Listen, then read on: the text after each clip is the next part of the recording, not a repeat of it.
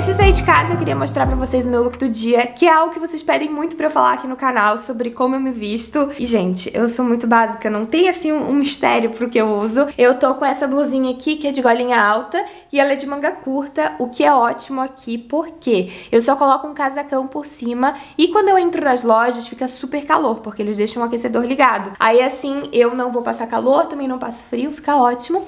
Ela é bem compridinha, ó, eu gosto disso porque daí tapa aqui assim, que é uma coisa que eu sempre uso. Tô com uma calça jeans normal. Essa daqui é minha calça jeans da vida, que é da Yukon. Comprei no Brasil, agora ano que vem, quando eu for, eu vou ter que comprar outra, porque eu uso muito ela. Ela é de cintura alta, só que ela não é tão alta, ó. Então ela vem até aqui, o umbigo ainda aparece e fica bem confortável. E aí, de casaco, eu vou botar esse casacão cinza aqui, que eu estava morrendo de saudade de usar, gente. Que bom que o frio chegou pra eu poder usar ele de novo. Vocês já conhecem ele porque foi o casaco que eu mais usei no inverno passado. Ele é bem comprido, vai quase até o meu pé, mas isso acontece com qualquer casaco comprido, porque eu sou baixinha, então tudo que é comprido fica mais comprido em mim. E aí, como não tem nada de muita cor nesse meu look, eu vou usar esse tênis aqui, que é muito lindo. E ele é daquele estilo que está se usando muito agora, que eu não sei bem o nome, mas tem um salto maior, assim, e ele é todo cheio de detalhes, assim, ó. Ai, gente, eu não sei explicar, se mostrar, ó. Esse tênis. Vou sair de casa agora.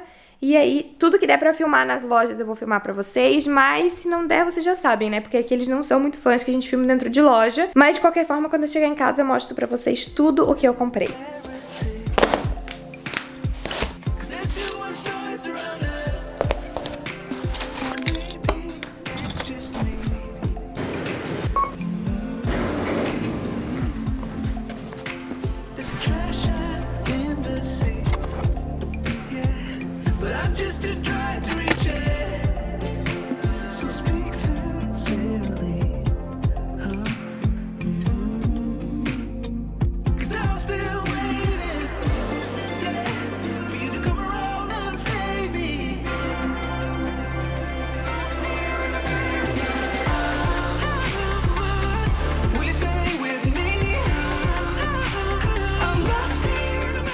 Chegar, comprinhas feitas e antes de mostrar pra vocês que eu comprei, eu vou fazer uma comida pra mim. E vai ser uma comida assim, bem estilo TPM, bem estilo paladar infantil, porque agora são duas da tarde e ao invés de comer comida, fazer um almoço, eu vou fazer panqueca americana, porque é isso que eu tô com vontade de comer. Eu não sei se vocês já tentaram fazer panqueca americana. Se nunca tentaram, aprendam essa receita e façam em casa, porque esse negócio é muito bom e é muito fácil. Então, vamos parar de falar, porque eu tô com fome, tem que fazer isso aqui e o pão fica pronto rapidinho. good feeling.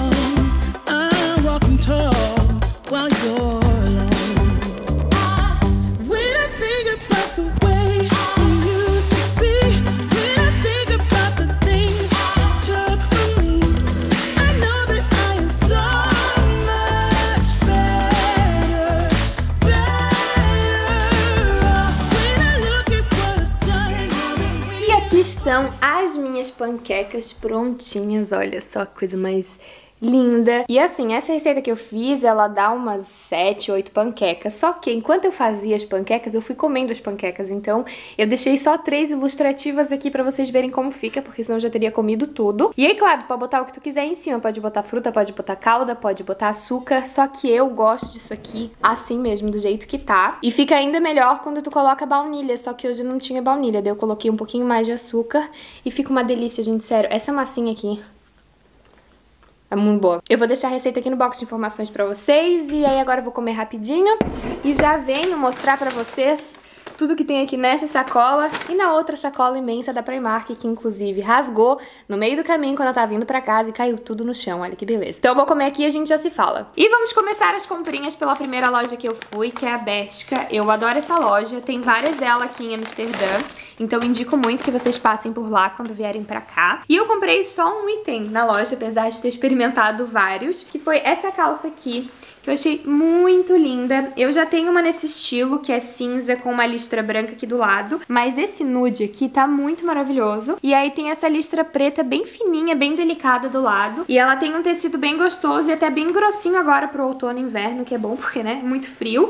E o preço dela tava bom também, foi R$19,99. Aí depois eu segui para a Primark, e aí eu tenho aqui uma sacola completamente destruída. Primeiro, comprei meias. Primark é um ótimo lugar para comprar meias. Esse pacote aqui com sete pares foi 3 euros. Aí comprei também esse cinto, eu tenho ele em preto, e aí decidi comprar o marrom porque eu só uso aquele preto, era sempre a mesma coisa, daí decidi escolher um diferente. E esse cinto aqui foi 3 euros também. Aí comprei esse cachecol imenso, que é praticamente um cobertor, né? Mas, gente, aqui é muito frio, então precisa. Ele é desse tecido pelucinho, assim, bem gostoso, sabe? Que dá vontade de dormir. E ele não foi o cachecol mais barato da vida, ele foi 10 euros, só que como ele é bem grosso, ele é mais caro, né? Normalmente é assim que funciona. Aí, o que, que mais temos?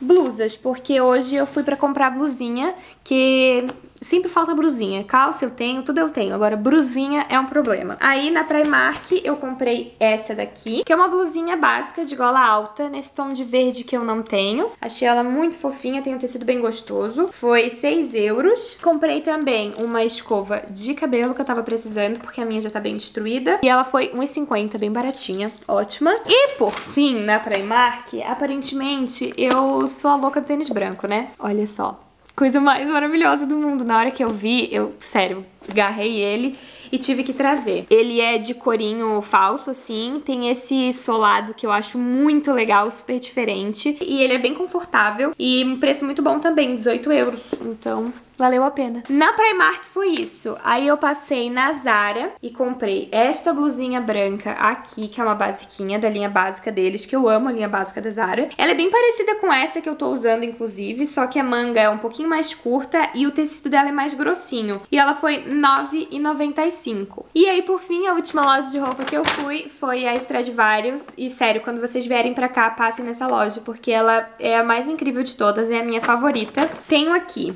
outra blusa básica, porque no inverno é basicamente isso que eu uso. É uma blusinha por baixo e o um casacão por cima. Essa daqui é de algodãozinho, lisa, também de gola alta. E ela foi 7,99. Aí tem essa daqui que é um suéter de tricô, lã, eu nunca sei qual que é a diferença, mas é bem fofinho, ele ficou super lindo no corpo, adorei, achei bem meiguinho. Ele foi R$19,99, ó. Aí tem essa camisa que também eu sou louca por camisa. Amei muito. Ela é bem básica. Aqui a manga dela fica assim dobradinha porque tem um botão. E aqui ela tem um decotezinho que parece bem aberto, mas quando tu veste não fica tanto aparecendo o peito. Porque eu não gosto muito que apareça muito meus peitos. E ela foi R$19,99 também. E sim, gente, eu comprei quatro blusas brancas, tudo isso daqui, porque branco é a minha cor favorita de blusa. Vocês vão ver meu Instagram, a maioria das minhas fotos eu tô com alguma camiseta ou uma blusa branca, porque é como eu me sinto bem, é o que eu mais gosto, então é o que eu foco mais em comprar, né? Porque, assim, por mais que eu ache importante, super importante, a gente sair da zona de conforto na hora de se vestir, também é importante que a gente saiba o que a gente gosta, que a gente se sente bem, porque a gente não é obrigado a usar uma coisa diferente só pra dizer que saiu da zona de conforto e ficar se sentindo mal, né? Então eu tenho tentado usar umas coisas diferentes, mas eu ainda tenho as minhas preferências e branco, preto e cinza ainda são as minhas cores favoritas. E de roupas, a última coisa que eu comprei na Stradivarius foi essa calça aqui, que é a minha primeira calça nesse estilo. Eu finalmente tenho uma mom jeans para chamar de minha. Sempre que eu experimentava esse modelo de calça, eu achava que não ficava legal em mim, porque não favorecia o meu corpo. Até que hoje eu decidi experimentar essa, porque eu gostei muito da lavagem do jeans, e ela é rasgada, e eu amo jeans rasgado. E caramba, ficou incrível. Eu não sei se é um modelo de mom jeans diferente, só sei que funcionou pra mim, que ficou bom, e eu amei. É esse modelo que chama Super Tiro Alto, então, se vocês acharem na loja, experimentem. Ela é bem linda, ó.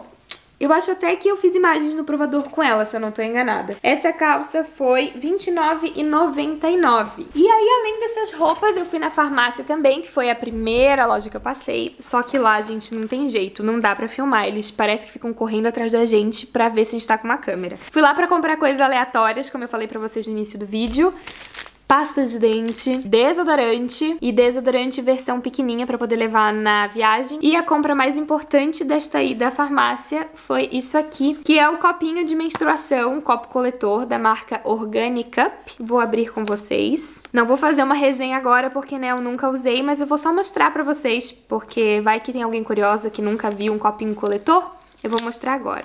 Aqui dentro vem todo o manual de instruções de como usar, então eu não posso jogar esta caixinha fora. Ó, aí vem um saquinho aqui dentro, bem bonitinho, que fofinho, bem pequenininho. E aqui dentro tá o negócio. Que interessante, nunca pensei que eu fosse usar isso, gente. Mas, enfim, né? A gente tem que tomar umas decisões conscientes na vida. Este é o copo coletor de menstruação. Para quem nunca tinha visto um pessoalmente, que é o meu caso, é esse negocinho aqui. Eu sempre usei absorvente normal, nunca foi um problema para mim, sou mega acostumada, só que eu sei que isso tem um mega impacto no meio ambiente e aí por isso decidi experimentar, decidi usar isso aqui para ver se funciona. Confesso que eu tenho medo sim que vaze, que não aguente, sei lá, mas muita gente diz que funciona, né? Então eu vou testar e assim que eu tiver a minha experiência completa eu conto para vocês se vale a pena ou não. E para quem mora aqui na Holanda e quiser comprar, ele foi R$21,99. Tá aí a dica. E eu ainda tenho mais comprinhas pra mostrar pra vocês. Aqui tem coisinhas que eu comprei pela internet. Aqui são coisas de cabelo. Aqui são coisas para o crossfit. Nessa primeira caixa tem o meu potão de máscara da Vela de 500ml. Dessa vez eu comprei uma máscara nova, eu nunca usei essa daqui. Mas eu acho que deve ser boa, porque normalmente os produtos da Vela são bons, né? E essa daqui é pra uma nutrição profunda e tem Goldberry. Essa máscara aqui é da minha amiga, a gente comprou junto por causa do frete. Aí veio esse super creme, não, não é um creme, é um sabonete em gel pro banho de brinde. Agora vamos ver a caixa grande. Deixa eu ver pra baixo. Tem a minha mochila nova pro crossfit. Olha só que mochilinha fofa. Ela não é muito grande, mas eu realmente não preciso que seja, porque eu não tenho tanta coisa assim pra levar aqui dentro. E acreditem se quiserem, essa mochila foi 2 euros. Aí o que, que mais temos? Um pote de whey protein, não é pra mim, é pro João, porque ele é muito fitness. E por fim, isso aqui que eu tava esperando muito. Eu não sei qual é o nome certo disso, mas é tipo um cinturão, pode ser? Pra colocar assim, ó. Ok. Coloca assim, desse jeito. A parte grande fica aqui atrás, aí prende bem aqui na frente. E esse cinturão ajuda a fazer alguns exercícios do crossfit de levantar peso. Ele deixa a coluna mais firme, não sei explicar muito bem pra vocês, mas é isso. É bem pra levantar peso e ficar forte. Olha só como eu tô forte, ó. Só que não, né? Enfim, tava esperando ansiosamente por isso. Agora já tenho... Não dá pra respirar muito bem. E eu tô tentando dar uma organizada nas coisas aqui agora, porque tá tá meio assim, né? Como sempre, a gente vai vendo, vai bagunçando a casa, vai organizando, bagunça de novo e assim vai. E pra eu poder guardar essas roupas novas que eu comprei ali, que eu mostrei pra vocês, eu preciso tirar roupas do meu closet, porque, né, eu gosto de, toda vez que eu compro, tirar alguma coisinha de lá pra doar, porque senão a gente fica acumulando coisa que não usa. Mas isso do closet vai ficar pra outro dia, porque eu não vou ter tempo agora. Eu só preciso que o meu excelentíssimo marido me avise que horas ele vai chegar, porque eu preciso saber que horas eu tenho que fazer a janta, né? E eu nem sei se tem muita coisa para fazer a janta. Vou ter que inventar algo assim muito incrível.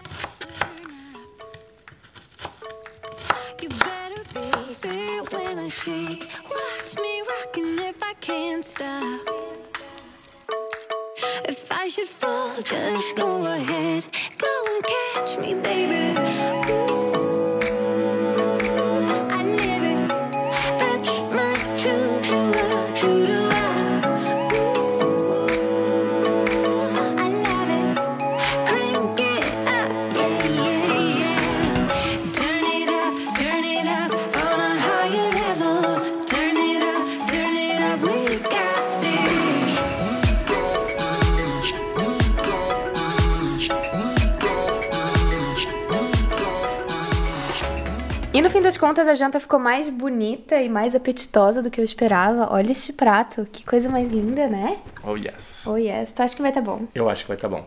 Tomara que esteja, né? Porque é, é simples, mas. É de coração. É de coração. Temos um super ovo mexido com cebola, bacon, cebolinha, queijo, claro, né? Pra ficar bem cremosinho. E aí fiz salada com o que tinha também. Tem folhas verdes, rúcula, alface, tomate cortado e sal e molho doce. E a gente vai jantar agora fazendo o quê?